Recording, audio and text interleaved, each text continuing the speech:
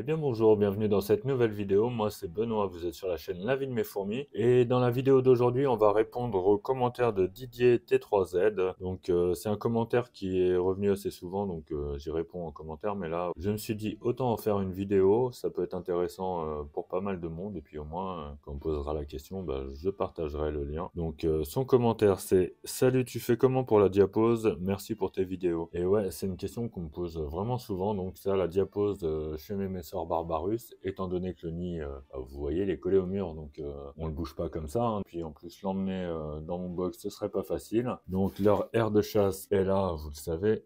Hop là.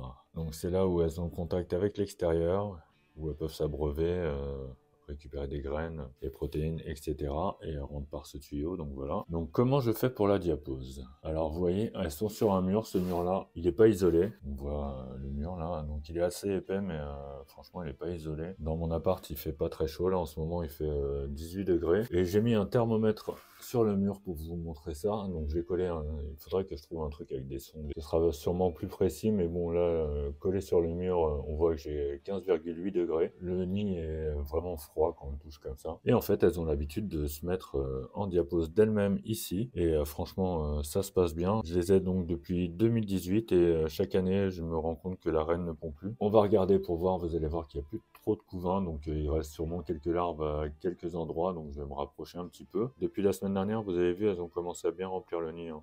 plus on descend, plus la population est serrée. Là, jusque là, il n'y a pas de couvain.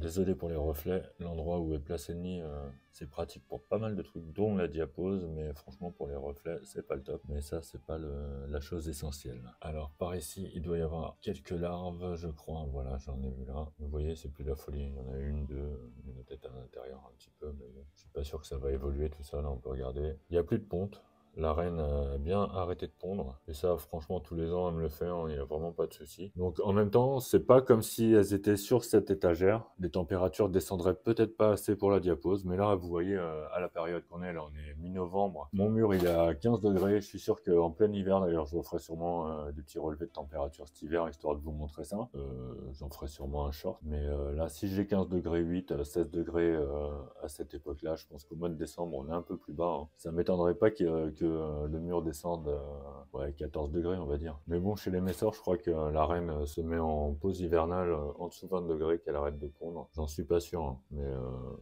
mais je pense. Donc là, on peut voir que le nid euh, commence à bien se remplir. Hein. Il y a moins de monde dans les tuyaux. Je vais vous montrer les tuyaux après. Là, j'arrive à voir un peu quand je me mets en biais comme ça, il n'y a pas trop trop de reflets. Ça m'étonnerait pas que la gine soit par là, parce qu'elles sont vraiment bien tassées, ou alors par là. Hein. Mais c'est sûrement dans un coin où elles sont tassées comme ça. Pour moi, vu qu'elle était rentrée là, pour moi, elle est descendue. Elle est, euh, elle est par là. Je suis pas près de la revoir, je pense. Donc là, m'ont mis pas mal de bazar. Hein. Bon, la vidéo a euh, comme titre comment se passe la diapo chez mes Barbarus, mais bon, je vais pas parler toute la vidéo de ça je vais en profiter pour vous faire un petit suivi par rapport à la semaine dernière. Vous savez qu'elles ont emménagé, euh, bon pour moi il y a 15 jours, mais pour vous euh, il y a une semaine. Donc euh, là vous pouvez voir un peu comment ça se passe. Le nid a l'air de bien leur plaire, tant mieux, hein, parce que s'il faut changer ça, ça va être compliqué. Je pense que l'année prochaine il va bien se remplir. Hein. Là il y a encore un petit peu de monde dans les tuyaux, mais ça va beaucoup mieux. Déjà elles squattent pas les tuyaux. Ça c'est un truc que, que, je veux pas moi. Si les fourmis squattent les tuyaux, c'est qu'il y a un problème dans le nid. Elles ont squatté le tuyau vraiment le temps du déménagement. Là ça commence à bien se libérer. Hein. Il n'y a plus de grosse masse noire. Puis le fait euh, qu'elle bouge pas les tuyaux quand même, c'est quand même mieux pour la respiration du nid. Même si j'ai fait une ventilation, j'aime bien, surtout sur un grand nid comme ça, j'ai fait une petite ventilation là. Je vais zoomer un peu. Hop là. Voilà, hein, avec une petite grille de robinet. Et ça permet de ventiler le nid. Euh, et euh, je sais pas, le dioxyde de carbone, tout ça, ça peut sortir là-haut, s'échapper. Et puis ça peut pas être un mal. Hein. Donc en ce qui concerne les diaposes de mes Barbarus, ne vous inquiétez pas. La reine se met bien en repos hivernal. Elle arrête de pondre. Elle reprendra ses pontes d'ici début mars. Alors cette année, c'était plutôt fin février. Mais en général, c'est début mars, donc euh, je m'inquiète pas trop. Je m'inquiétais surtout par rapport au déménagement avant Diapose. Et en fait, euh, ben, ça s'est bien passé. Vraiment pas de problème. Vous voyez qu'elles habitent bien dans le nid, elles sont bien dedans. Je vais vous faire un tout petit tour dans l'air de chasse, là, histoire de vous montrer que ça commence à se vider pas mal l'air de chasse. Là, aujourd'hui, il fait froid, donc, euh, donc ça se vide. La semaine prochaine, par contre, ils ont prévu un redout, donc on va avoir ce que ça change en fait.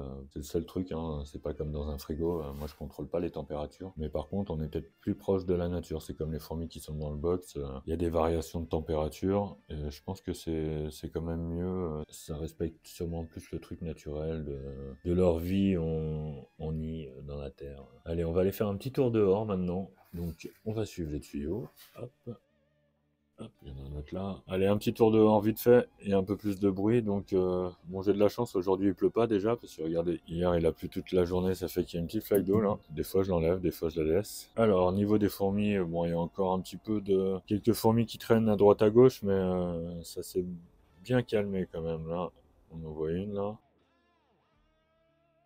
Vous avez vu par rapport à la dernière fois. Alors, je sais plus ce que c'est ces graines-là, mais elles les aiment pas trop. Hein. Quand je leur ai donné des graines, elles les ont laissé les petites noires là. C'est pas leur délire. Les autres, elles sont à moitié épluchées, mais celles-là, elles les ont pas touchées. Donc, enfin là, j'en ai euh, dans le mélange. Je vais pas les trier, mais euh, je sais que je les remettrai pas. Voilà, donc euh, un peu de fourmis. Là, on voit qu'il y en a pas mal qui squattent là. Elles sont dans leur trou encore. Alors, je pense pas qu'elles aient creusé très profond dedans, hein, parce que normalement, il y a un plâtre assez costaud. C'est juste qu'elles ont dû se faire un petit trou derrière la caillasse, là. Bon, après, si jamais elles squattaient dedans, c'est pas grave. Hein, elles se font de la place elles-mêmes. De toute façon, cet hiver, je pense qu'elles vont rentrer à l'intérieur. C'est pour ça que le nid va peut-être être plein. On verra bien. Allez, moi, je vais rentrer à l'intérieur parce qu'il fait froid. Hein. Et bien sûr, ce, je pense avoir fait le tour de tout ce qui concerne la diapose de mes Messors Barbarus. Pas grand-chose à dire, à part qu'elle reste sur place et que la reine se met bien en pause hivernale a pas de problème pour ça, elle arrête de pondre et elle reprendra au mois de mars, euh, comme la plupart des fourmis à l'extérieur. Donc voilà, euh, je vous ferai un suivi pendant la diapose, euh, histoire de vous montrer un peu comment ça se passe et puis on regardera aussi où en est la température. Donc là, on est à peine à 16 degrés. Je vous dis à mercredi prochain et j'espère que vous aurez aimé cette réponse. Allez, ciao